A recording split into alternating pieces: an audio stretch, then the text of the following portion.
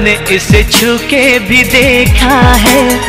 तेरा ये बदन है कि शीशा है